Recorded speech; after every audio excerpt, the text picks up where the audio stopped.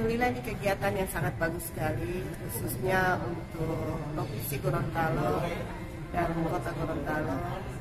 Ini adalah uh, bagaimana nanti banyak wisatawan-wisatawan yang datang ke Gorontalo.